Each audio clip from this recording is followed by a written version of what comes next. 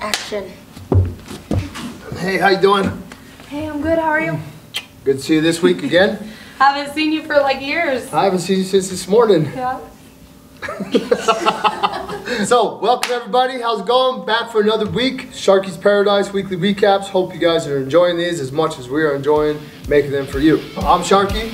I'm Jess. Welcome back for another recap.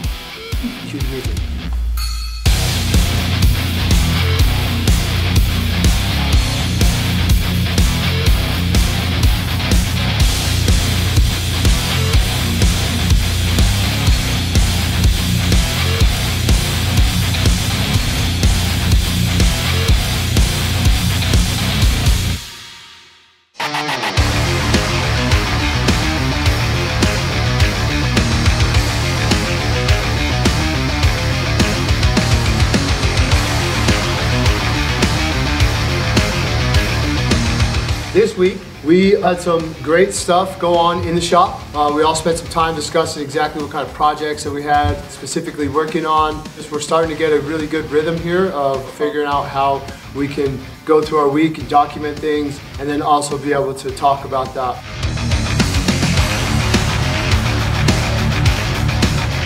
So uh, the tattoos that I got to do this week were all pretty spectacular. Got to work on a gentleman named Brandon, super cool guy. Had some great conversation. We did a cover up of a leprechaun, ancient like I don't know. It might have been from He-Man or something. I don't know. That's what it kind of looked like. But anyway, we got rid of that. We put a, uh, the Grim Reaper. I'm not sure if you're familiar with the Book of Revelations, but there's a legend of the four horsemen of the apocalypse coming in. One of which is the Pale Rider, and in this particular instance, he looks like the Grim Reaper, and uh, his name is Death. Hopefully you liked the tattoo. Here it is, and here, and maybe here. So anyway, my favorite part about that session though was just the overall time that I got to spend with that particular client. He's really interesting, really interesting dude, well read. Enjoyed that day a whole lot. We're going to be moving on to the color portion of that tattoo. So this particular project had, you know, cover up involved. We did all the black line work layout and black fill that we could on the cover up itself and basically got ourselves to the point set up where we're, where, where we're set up to start the color uh, packing on this next round.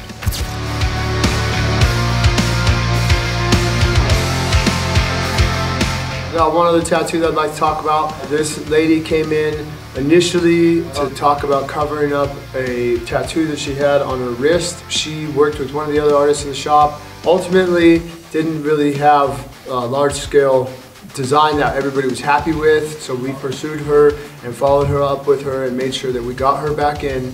And I ended up working with her specifically to develop this tattoo. Ultimately came up with a design that she fell in love with. Went from doing this cover up on her wrist to doing it this big on her thigh. Great tattoo, awesome project, came out really sweet. And I'm so happy that we were able to resolve that. So hopefully you guys enjoyed that tattoo. Here's a shot of it.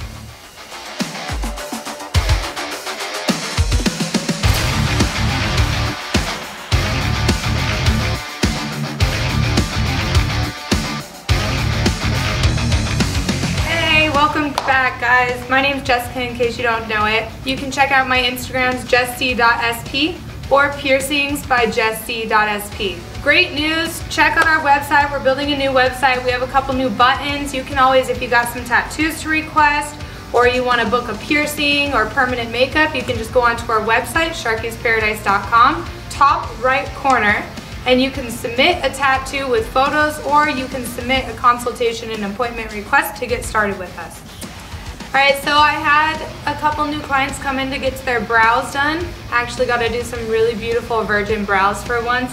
One of them was a ombre powder brow and this client's name is Erin. She's actually a private chef. We did some beautiful brows on her and they just blend really nicely. She actually is booked for a touch-up coming up, so keep an eye out for that. They healed super nicely. They look beautiful. How do they make you feel? Make me feel awesome. Oh,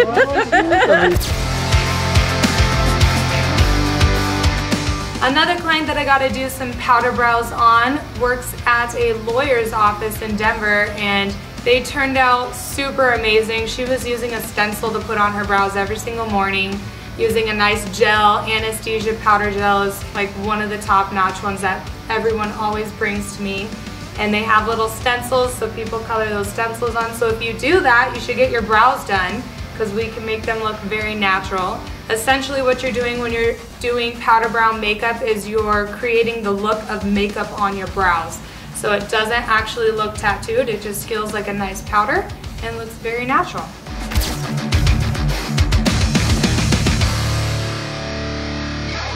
Would you quit? Would you quit? No, it's my job. It's my job. It literally is our job. Wait. No, it's my job. Turn it off. My job. Um, Content. Hello everybody, welcome back. Hey guys, this is Chelsea with Sharky's Paradise. Today I'm going to talk to you about um, a really special tattoo that came in. It started off as a walk-in and turned out to be like a permanent client that's going to be coming back, so that's exciting. She came in very emotional. She wanted footprints for her uh, macaw that had passed away. We did them right here on her arm as if the bird was sitting here on her arm. Something very special for her. Super happy at the end. Almost made me tear up. It was great. Very special moment that I'll never forget.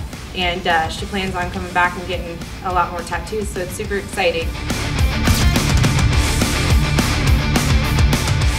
The next tattoo that I'm going to talk about is a bouquet that we did on the rib cage. Anastasia is one of my clients that's been with me before. She got the first bouquet on the other side of her rib cage and then came back for the second. She's great. I love hanging out with her, so when you're sitting there tattooing for hours, it's always a good thing whenever you get along with your client. The tattoo turned out awesome, I thought, and she loved it, so I'm excited to keep giving her some more ink as well.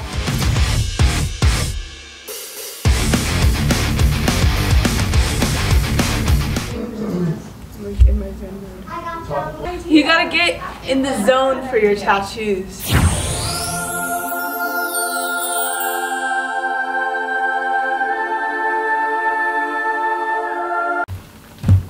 What's up guys?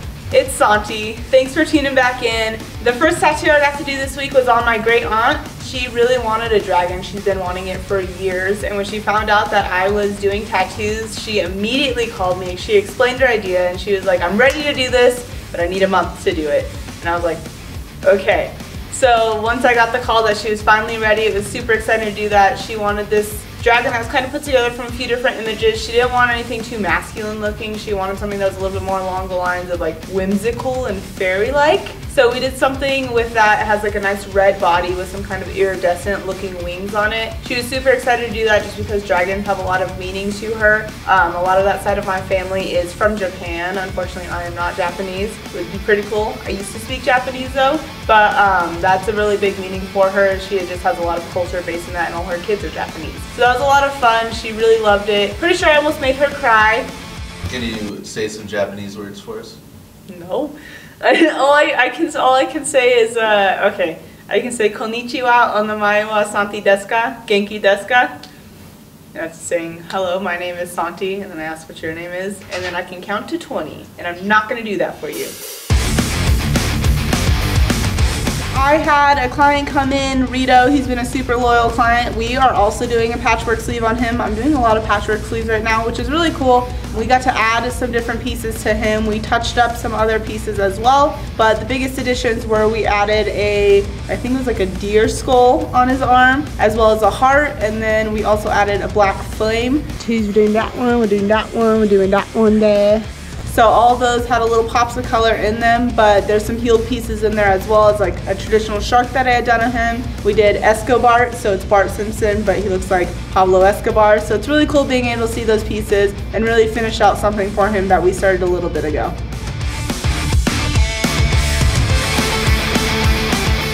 So in my Instagram bio, I have a link for people to request consultations with me. I got to do my first tattoo from that. I had this girl named Bella, she came in, she wanted to do a more Japanese traditional kind of crane on her, but we made it super feminine, super fine line still. We did it right on her ribs, made it super pretty with some different gray washes in that, so it'll feel really light. Didn't want to do too heavy on black, but it was super exciting to get her her first tattoo. She definitely enjoyed it. Ribs are a hard place to tackle, but most times they're really easy to do if you're only going for a few hours on them.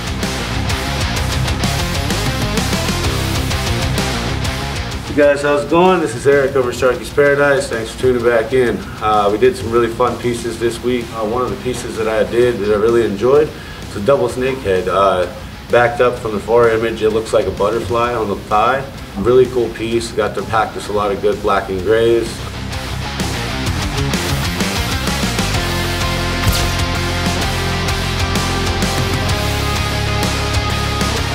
This piece was also on a returning client. Uh, he came back in, he got an astronaut skull that you guys have seen in the previous weeks. We went ahead and did the other side. He wanted a snake climbing into a tree, thorn bush style. So yeah, we had set that and oriented it for the forearm and got a really good tattoo out of it. It was super fun.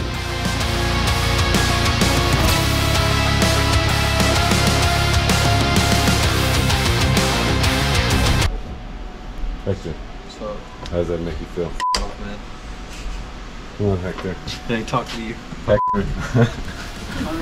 Hector. You can go talk.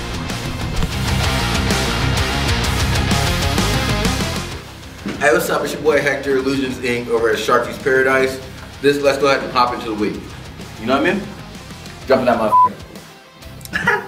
Uh, what's up? This is Illusions Ink. Hector Bustos over here at Sharky's Paradise. Another wonderful week of doing tattoos with the gang and all that. You know, I had a returning client. He's been coming to me since I was tattooing out of my house, and this time we did a cross on his wrist. And you know, he's just always adding fillers. This guy is amazing. He's always coming back and just giving a lot of energy. He likes to get tattooed by just anybody at the shop, so I think that's really awesome. Just because like I'm sometimes not available, and it's really cool the fact that I can depend on other people at the shop to give my clients some awesome work. So I think that's really cool.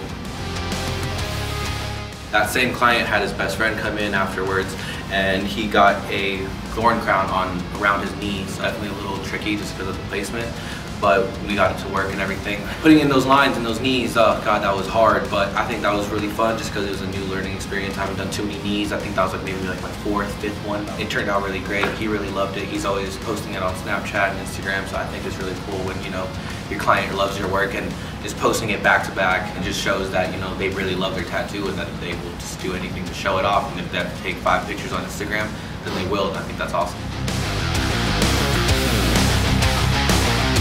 I knew I was gonna die. hitting, bud. Alright, what's up, y'all? It's your boy We Are One Tattoo, Christian Lewis. You know, I didn't really do shit this week. I did a couple pieces. Let's go ahead and talk about it. Alright, y'all, I guess I gotta do this again because the first time wasn't good enough. But it's your boy, We Are One Tattoo, Christian Lewis. You know, go ahead and follow me on Instagram. Let's just jump straight into it. I started out with the rib cuss, uh, cuff. Wrist cuff, you know, about to start the armor of God. We had a great time doing it, talked about a lot of religion and other stuff. I'm not gonna get into that right now, but it was a great time. Can't wait to finish that up. We're going all the way to the shoulders, so it was great to start out. Probably one of, you know, five or six sessions. The next piece that I did was on a first timer. It's a full sheet of paper, pretty much. It says, ain't no rest for the wicked, right above the knee, because if you're gonna get a first time, you gotta jump all the way in, no numbing spray, nothing special. You know, solid saturation, you know, it was a great time doing it, and guess what? He came back probably about a week later and got another piece, because tattoos don't hurt.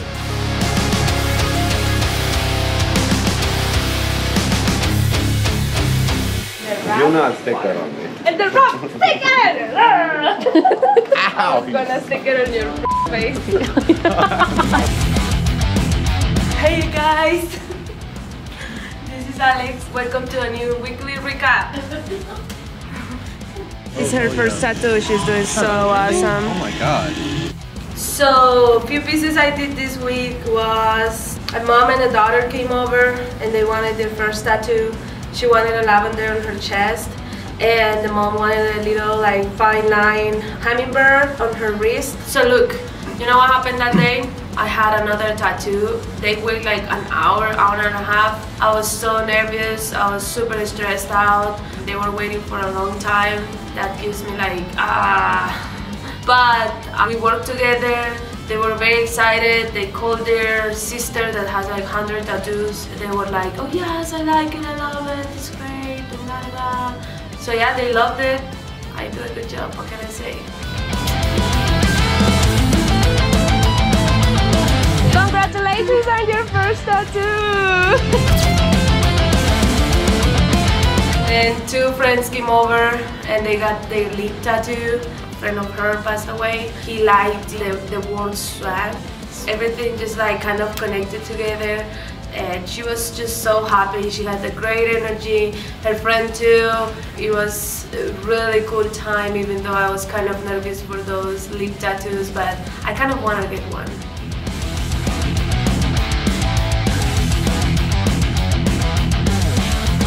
My super great client Jill came over. She wanted some butterflies on her shoulder. She just say, Alex, you do you.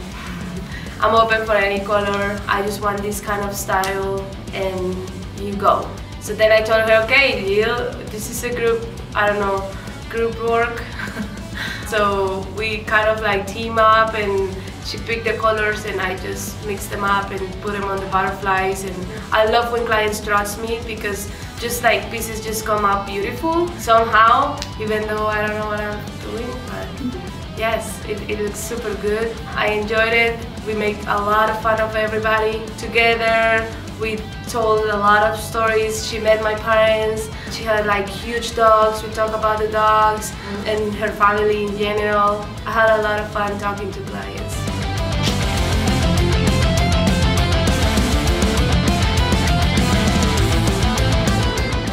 Eric, where are the sharps containers? I don't give a shit.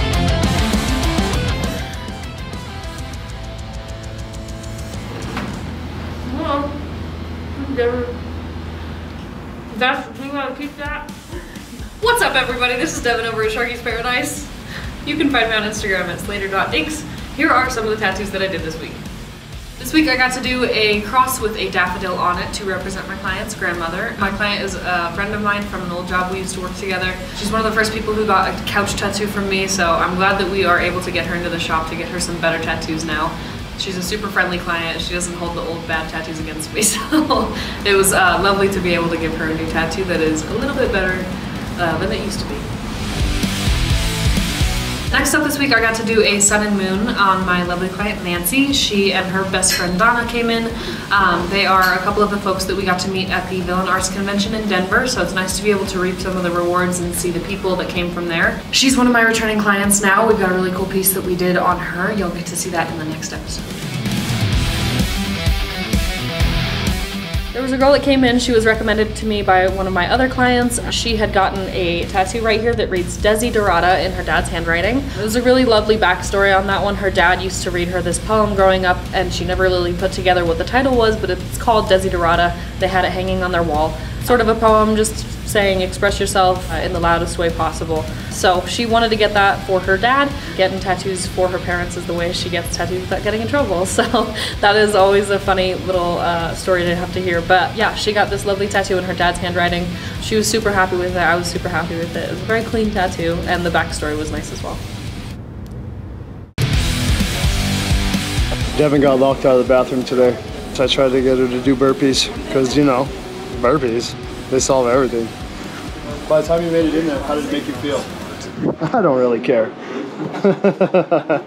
So Sharky and the kids ran around the shop and shot flies, and that was really cool. Costume Hold on, hold on, hold on, hold on. You forgot the most important part. We were armed. We had the latest, greatest Bug-A-Salt salt shocker. Yeah, it's nice. If you don't have one, you should definitely invest in one. Oh, oh God, it's a fly! Ah! Oh my God! Oh, it's mom. I think she's wearing orange. so anyway, we get this Bug-A-Salt gun. We got to go on yet another fly safari, but this time I got to take Axel and Allie with me. So we hunted the whole shop, and in the end, we were victorious. We're getting the trophy mounted right now. It was it wasn't like a really exotic fly. It was just a fly. Have a tough time Did you finding kill him? taxidermy, but we smoked that fly. Oh, there he is. He's gone. You got him. Quiet. Oh, he took the guts right out of it. Yeah. He go. We shot him all the way over there. Look, he's in pieces. Teamwork. Teamwork. The Sharky Army. What? So This week I also had the opportunity to do a tattoo on a mother. She wanted faith before fear with a little uh, heartbeat line work with, I think it was semicolon. I think that represents uh, surviving suicide or attempt or just having, you know, those mental thoughts and everything. So I thought that was a really nice, cool tattoo to give her because, you know, we're all survivors in this world, so it's awesome to give ourselves, you know, mementos that let us know that we're gonna keep on going. I got to tattoo my cousin from Texas. He's a really cool guy and he loves a lot of my Japanese work. And we did a Japanese girl with the Oni mask coming off of her face with a katana on the back. I think my first time actually like, mixing gray wash and color at the shop, so that was really fun to show Sharky, you know, what I can do with that. And it turned out really awesome. After that, he came back and got some other few pieces I'll definitely have to talk about in the future. But yeah, no, it was really fun. It was exciting just because I love to do Japanese work. That's just like really a lot of the things I like to do here.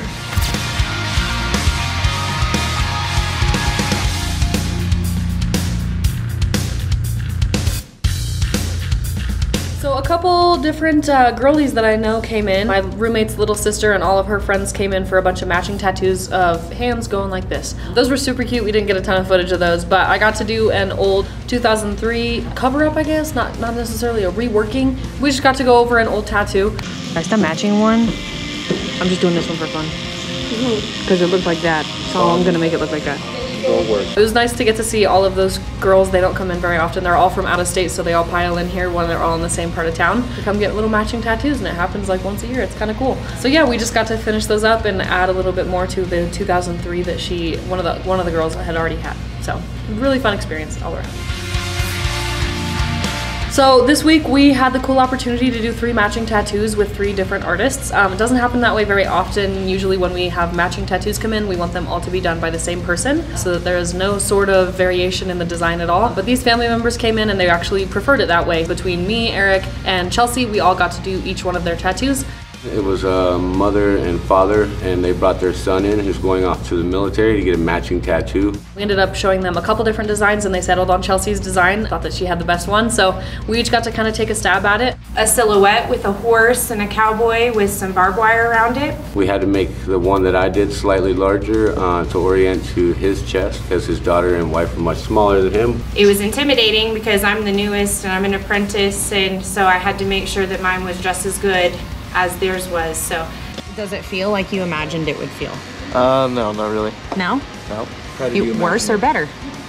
Both, I guess. Oh, yeah. It's just a needle. You heard it here, folks. It's just a needle. 11 to be precise. That came with some difficulties, but I think it turned out great, and he was super happy with it. So the vibe of everyone working together on the same project at once is kind of fun. Overall, they came out uh, almost identical tattoos, so good job on the group for getting good fundamentals down. So it was definitely a, a, lovely experience to get to meet all of those family members and hear all of their stories individually and what the tattoo represented for them. They were super, super sweet. Hopefully we get more opportunities like that again in the future. All right, we got ourselves a first timer right now.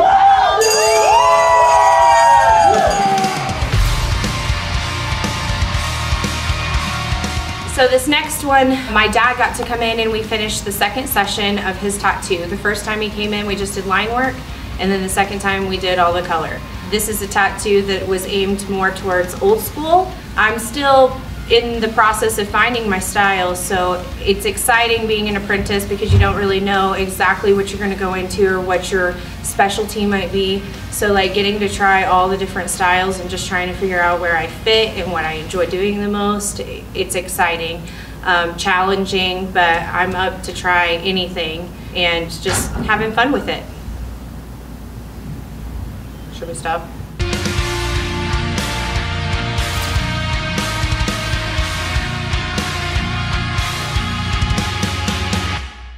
So Danica is a friend of mine and my husband David. We decided to do this space, out of space, flowers, that we are still gonna work on it once it's finished. I'll for sure update you guys. But yes, it was amazing, a lot of pain, but also lots of color and lots of passes and lots of, you know, little details.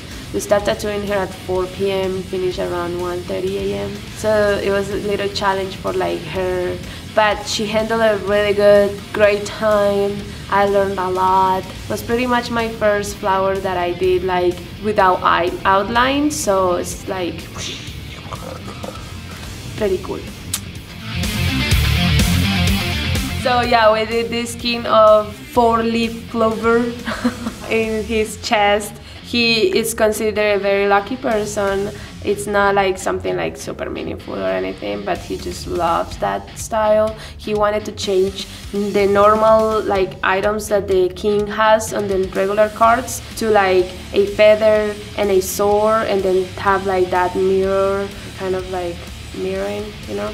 So it's two spades or two swords and then two feathers. We stopped just right when we were gonna start colors because he had to like work the next day. It was a Sunday late night, so we're gonna finish the piece in like probably two weeks or so and it's gonna be super super amazing he was very happy and thankful for that piece and i was very glad that he is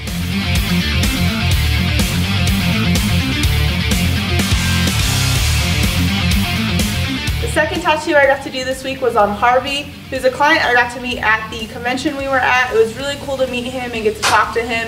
He had a lot of different ideas on what he wanted to do. We were trying to figure out what exactly we wanted to do. But when he finally got to come in, we got to do a really cool Davy Jones portrait on him. That is from Pirates of the Caribbean. So it's a lot of fun getting to talk to him about all the movies he liked, seeing all the different tattoos he had. So while we were working on that, we got to watch the Pirates of the Caribbean movie, got to talk a little bit about that. It was originally supposed to be pretty big on the back of his calf, but then he came in and decided he wanted it like that big.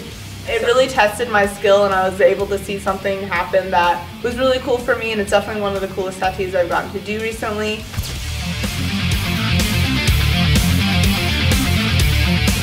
This week I have some different things. I have a tarot card with the Grim Reaper and it says death on it and it's got some flowers and leaves popping out of it. I also have a skull wearing like a little like button up with a tie but his head is a swimming pool. That one's really cool. It'd be really cool to be able to do that one in the full color that it has, especially pretty big so you can see all the detail.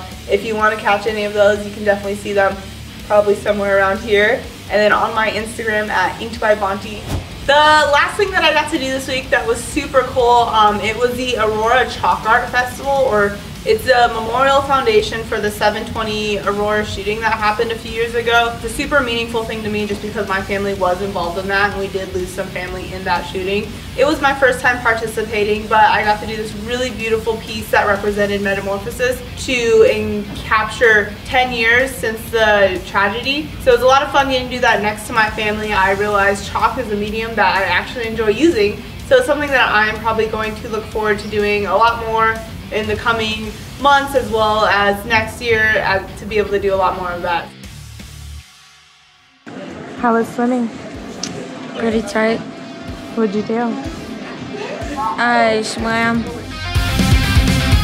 Piercings that I did was on my niece Emery. We did her double nostril piercing, one on each side, and I got to send her back to Arizona to start school for the new coming year with a couple double nostril piercings. That was really fun and she did amazing. She did not have any teardrops at all.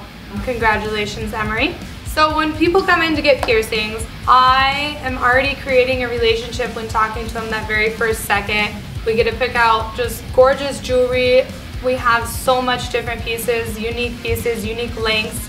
I like to use a little caliper, it's a measuring tool, and I measure every client's ear or their nose or their lip, where they're getting it exactly. We leave a little bit of room for healing and I have them come back in about six weeks, sometimes six to nine months, just to get something smaller in there. What's really nice about the threadless jewelry is you can leave the flat back in your ear and just change out the different tops. So when you're going on duty or you can't wear something to work, you can just change out your tops and it's just really nice to have all those different options. I am still doing the majority of the dermals in the shop and we have lots of dermal hardware so we have 14 gauge and 16 gauge feet so you can set those inter internally threaded posts and then we have a huge selection of both 14 and 16 gauge tops that can get put on those dermals. So I did have the opportunity to be able to do a face dermal, I think it was on this side, on the left side, yeah, on a lady who, who had been here previously looking to try to get a, a, a dermal that she had at one point in time uh, put back in or changed to the other side. I believe that we looked at it and the location that she wanted to do it, um, just the scar tissue wasn't giving us what we needed there to, to try to set a dermal there. So we didn't even attempt it through that scar tissue and I think we moved to the other side if I remember right.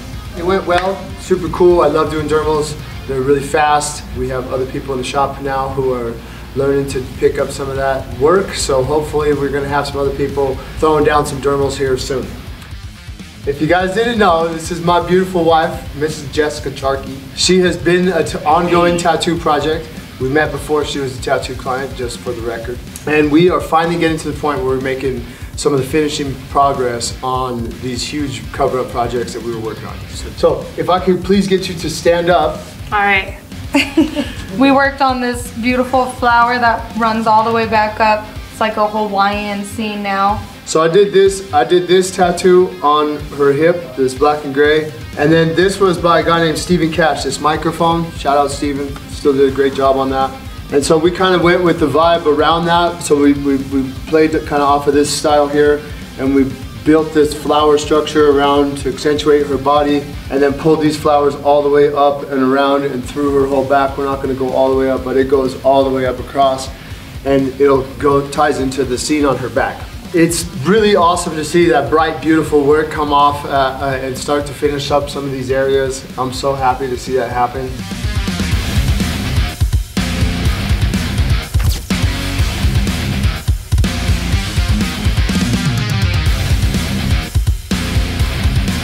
Thanks for watching, guys. Hit me up on Lethally Blonde Tattoos on my Instagram or my email. As always, go ahead and follow me on Instagram. I got some available pieces. I changed my Instagram. It's gonna be ar.collectives. Just follow me, follow my art. I have a lot more cooler designs coming out. I have been doing a lot of anime tattoos, so I can't wait to show you guys that stuff. I do have some designs available. Um, if you would like to check those out, make sure you DM me on Instagram. You can find me there at slater.inks. You can also find the rest of the shop at Sharky's Paradise. You can follow us, like us, yada yada. Uh, Or you can always call the shop. Really easy way to reach us, or you can always check out our website. We got two buttons on there now for a free consultation or requesting a tattoo. Definitely check those out, and I look forward to talking to you guys more next week. Quite a bit going on in the shop right now, so please stay tuned in and come check us back out. Make sure to like, subscribe, share, and follow. Wait, no, comment. Subscribe and follow are the same thing pretty much. Get out. Mm.